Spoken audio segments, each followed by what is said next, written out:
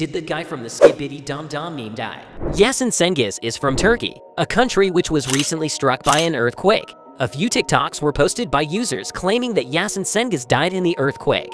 Despite the online rumor, it seems that Yasin Sengiz is not dead, as evidenced when he made a post to his Instagram story showing the wreckage around him.